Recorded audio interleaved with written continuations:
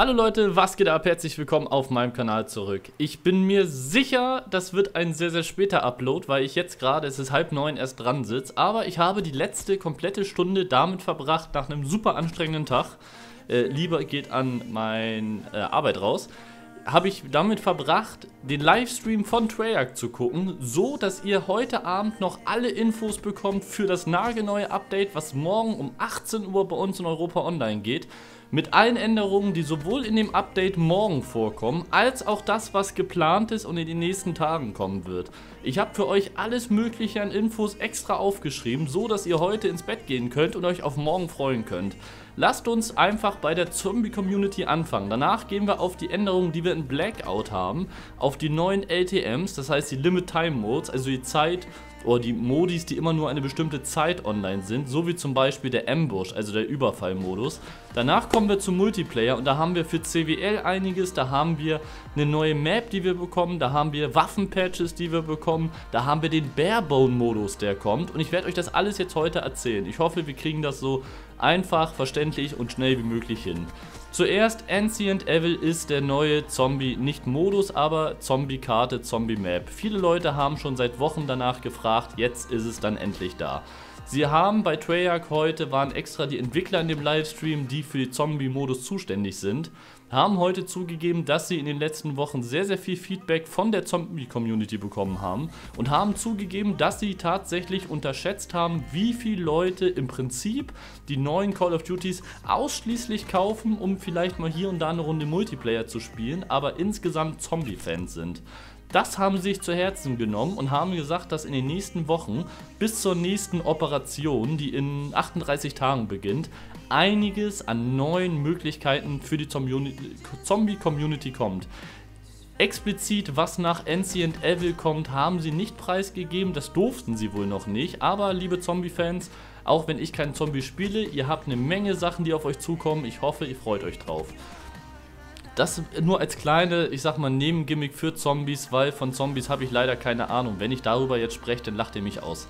Wichtig erstmal für Blackout. In Blackout gibt es eine Änderung, die hat David von der Haar selber im Livestream gerade angesagt, über die er von Activision aus noch nicht sprechen darf, die eine komplett eigene Ankündigung mit einem komplett eigenen Update bekommt. Seine Worte waren wortwörtlich, diese Änderung für Blackout ist das größte, an dem er jemals in einem COD gearbeitet hat und verdient mehr als nur ein Update. Es wird signifikant alles Dagewesene in den Schatten stellen. Was das an jetzt am Ende bedeutet, kann ich nicht sagen. Man muss abwarten und gucken, was das Ergebnis von dem Ganzen ist. Es wird auf jeden Fall sehr, sehr heftig. Dazu bekommen wir in Blackout jetzt die Möglichkeit, mehr und neue Zeitmodi zu bekommen. Das heißt, Modis, die nur eine gewisse Zeit da sind, die man so 3, 4, 5, 6, 7 Tage spielen kann, die immer irgendwas Spezielles bedeuten. Einer dieser Modi wird zum Beispiel Ambush 2.0 sein, so hat er es genannt und sagte, eigentlich ist es nicht 2.0, es ist komplett überarbeitet. Also Überfall. Für die, die nicht wissen, was das ist, im Blackout gab es den zeitbasierten Modus Überfall, so dass man die Möglichkeit hatte, nur mit Nahkampfwaffen, also Messern und sowas, ähm, Snipergewehren und ich glaube Granaten zu kämpfen. Das Problem war beim ersten Mal, dass viele Leute sich deshalb einfach, weil mit einer Sniper kann man jemanden nicht gut treffen und mit einem Messer, wenn er fährt, auch nicht. Die haben sich halt im Prinzip, um die Runde zu gewinnen, einfach in Autos gesetzt und haben Leute überfahren. Sie haben gesagt, das Feedback haben sie mitbekommen, sie haben da Fehler gemacht bei der Entwicklung von dem Ganzen und haben dementsprechend sich jetzt darum gekümmert, dass der neue Ambush-Modus dieses Problem nicht mehr innehaben wird. Das heißt, dieses Problem werden wir jetzt nicht mehr haben im neuen Ambush-Überfall Modus wird es keine Autos mehr geben und man ist davon weggegangen, dass man Granaten zum Beispiel werfen kann. Das muss ich ganz ehrlich sagen, ist ein riesiger Vorteil, einfach weil dann wirklich das Spielprinzip wieder näher rangekommen ist. Und zwar Only Sniper spielen, was viel, viel mehr Spaß macht. Viele von euch, wir haben eine große Sniper-Community, für euch habe ich im Multiplayer auch noch ein, zwei Sachen, werden sich da mit Sicherheit dran ergötzen können. Wir haben noch viel mehr Infos dazu. Und zwar, weil wir im Blackout-Modus gerade waren, schließen wir auch damit ab. Im Blackout-Modus werden nach wie vor neue Spielcharaktere mit der neuen Operation reingebracht, die in Zukunft auch nicht mehr nur durch den Schwarzmarkt erspielbar sein sollen, sondern durch Winstreaks, die man in Blackout erreicht. Das heißt, wenn ihr zum Beispiel eine Runde gewinnt, bekommt ihr den und den Charakter. Wenn ihr drei Runden hintereinander gewinnt, bekommt ihr den, den und den Charakter. Das geht, glaube ich, bis zu einem Maximum von irgendwie 10 Siegen innerhalb von 24 Stunden oder sowas, wo ihr dann irgendwie das Maximale rausbekommen könnt. Das soll so ein bisschen der Ausgleich sein von Activision und Treyarch dafür, dass eben viele Sachen aktuell nur frei spielbar sind, wenn man sie über die Reserven oder den Schwarzmarkt erhalten hat. Dazu bekommen wir, das sollte es für Blackout erstmal sein, für die ganzen CWL-Jungs von uns. Sehr, sehr interessant für euch. In CWL, also im League Play, wird sich vieles ändern. Das allererste, es wird eine neue, ich sag mal, Force Division geben. Diese Division wird ganz klar einteilen, die ersten 2% der Leaderliste, die ersten 10%, die ersten 20%, die ersten 30%, die Top 50%. Diese Leute, die in den ganzen Divisionen in diesem Bereich sind, mit ihren Skillfähigkeiten, also Punkte pro Minute, Siege, Kills und und und, werden separat einen neuen, ich sag mal, Symbol, ein Icon bekommen, so dass jeder in der Lobby sofort sieht, okay, das ist ein Pro, das ist vielleicht einer, der viel gegrindet hat oder oder. Das ist ein System, was schon lange überfällig ist und wo ich mich wirklich darauf freue, dass es endlich kommt. Viele von euch zocken den League Play Modus wirklich wie die Wahnsinnigen und ich gönne euch das auch von Herzen, dass ihr Spaß daran habt. Aber bisher war es wirklich nicht so dolle, dass man da ordentlich gerankt wurde und dass es auch ordentlich äh, angezeigt wurde. Dazu kommt, der Algorithmus wurde geändert, der dafür beiträgt, wenn Partys im League Play spielen, dass die auch wirklich vernünftige Gegner haben, auch wenn es einzeln ist. Bisher haben sie bei Active, bei Treyarch gesagt, es war sehr, sehr schwierig für einen oder für die Entwickler, wenn man zum Beispiel eine Party hat mit einem, der vielleicht top platziert war und in der Party war einer, der schlecht platziert war und einer, der mittelmäßig platziert war, da den Algorithmus dazu zu bringen, dass der ordentlich funktioniert. Davon sind sie jetzt weggekommen, das Problem haben sie nicht mehr, da bin ich sehr froh drüber. Da gibt es jetzt einen besseren Algorithmus, der auch bessere Partys findet, beziehungsweise bessere Gegner für Partys, wenn die League Play spielen.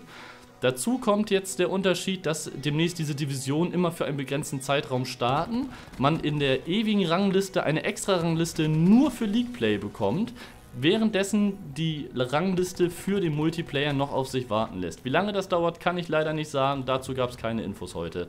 Dazu hat man mit den CWL-Jungs, also mit Optic Gaming, mit Luminosity, mit all diesen wirklichen Pros, jetzt Gespräche geführt und da diskutiert, was man alles tun muss und was bisher das Problem ist bei einzelnen Waffen. Es gibt, wenn ihr euch mal CWL Pro Leagues angeguckt habt, im Prinzip drei Waffen, die im Competitive gespielt werden.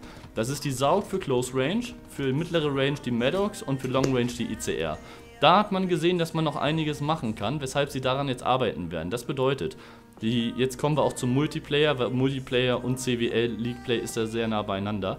Die KN bekommt einen weiteren Buff im neuen Update mit einer besseren Reichweite, so dass man eventuell die Möglichkeit hat, in League Play öfter nach der Maddox nicht die ICR, sondern die KN zu sehen, auch ohne Schnellfeuer drauf. Die Rampart bekommt einen winzigen Buff bei der Reichweite dazu. Dazu kommt für euch vielleicht auch sehr interessant die Spitfire soll wieder ein bisschen angehoben werden von der Munitionsgröße, so dass man eventuell auch neben der Saug in Competitive noch die Spitfire demnächst sieht. Weiterhin bekommen jetzt für alle Sniper, die wir hier haben, sehr sehr wichtig, die Paladin hat bisher nur 5 Schuss, ist die stärkste Sniper, die wir hier in dem Spiel haben, aber niemand hat die Möglichkeit, da schnelles oder großes Magazin drauf zu tun. Es wird, das wird jetzt mit dem Update morgen schon kommen, die Paladin wird hochgewertet von 5 Schuss auf 6 Schuss. Das ist der kleine Vorteil, den man jetzt dadurch bekommt. Man kriegt eine Patrone mehr im Magazin. Der Nachteil ist, die Nachladezeit verlangsamt sich dadurch ein bisschen. Erklärt wurde das ein bisschen mit ein bisschen geben, ein bisschen nehmen. Aber ein neuer Operator-Mod soll in der nächsten Operation für die Paladin mit reingepatcht werden, so wie für andere Waffen teilweise. Und bei der Paladin wird es ein Operator-Mod sein, der drei weitere Kugeln reinhaut. Das heißt, ihr habt dann nicht sechs, sondern neun Patronen in der Paladin drinne. Für alle die, die irgendwie snipen und gerne snipen, es gibt viele von euch, die große YouTube-Kanäle damit haben oder die viel Spaß damit haben. Für euch ist das natürlich gerade bei wahrscheinlich eurer Lieblingssniper natürlich eine gute Info. Dazu kommt es, dass wir endlich den Barebones-Modus bekommen. Der Barebones-Modus bedeutet im Prinzip, ich kann euch genau sagen, was drin vorkommt. Ihr werdet keine Spezialisten haben. Morgen ab 18 Uhr geht dieser Modus online. Ihr werdet keine Spezialisten haben. Ihr werdet keine Gear haben, keine Körperrüstung, kein Akustiksensor, nur den Stimshot. Das heißt, ihr könnt euch nur selbst heilen und das war's. Ihr werdet sowas wie ähm, Handgranaten oder ähm, Blendgranaten ausrüsten können, aber so wie in anderen CODs früher, könnt ihr das nur einmal benutzen und es lädt sich danach nicht automatisch auf. Das heißt, wenn ihr eure Handgranate genutzt habt, ist sie weg, bis ihr einmal sterbt und das neue Leben habt.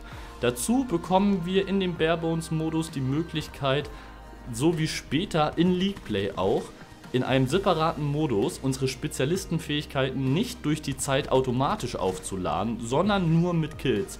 Zum Beispiel kriegt man den Profit, wenn man 10 Kills gemacht hat.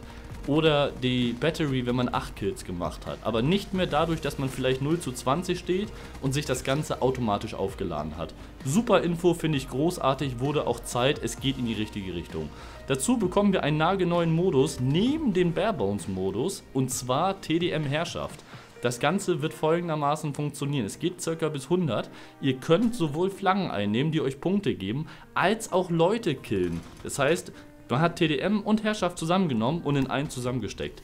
Wenn ihr einen killt, bekommt euer Team einen Punkt. Wenn ihr in Herrschaft eine Flagge einnehmt, bekommt euer Team zwei Punkte. So, dass niemand mehr sich beschweren kann, dass jemand nicht die Flaggen eingenommen hat. Jeder kann so spielen, wie er möchte und beides ist zusammengenommen. Das soll erstmal ein temporärer Modus sein und wenn der gut ankommt, wird es ein dauerhafter Modus. Und dann noch kurz für League Play, das habe ich vergessen, das ist vielleicht wichtig. Friendly Fire wird nach wie vor bestraft, aber jetzt anders als früher. Wird man am Anfang von seinem Teammate am Anfang zum Beispiel abgeschossen, geht dieser Schaden nicht auf einen, sondern auf den, der euch abschießt. So, dass zwar das Team nach wie vor damit dann eben ein Problem hat, aber Leute nicht mehr so trollen können. Das war im Prinzip alles Wichtige, was wir heute an Infos von Treyarch im Livestream bekommen haben. Ich habe versucht, das so schnell wie möglich und so einfach wie möglich zu verpacken. Ich hoffe, es hat euch gefallen. Ich hoffe, das sind Infos für euch, auf die ihr euch auch freut. Ich persönlich freue mich riesig auf das Update morgen. Vieles geht in die richtige Richtung. Und tut mir einen Gefallen, Leute. Wenn euch das Video gefallen hat, lasst ein Like da. Ich würde mich riesig drüber freuen. Lasst gerne ein Abo da, wenn ihr es noch nicht gemacht habt. Ich bin raus. Schöne Nacht euch. Haut rein.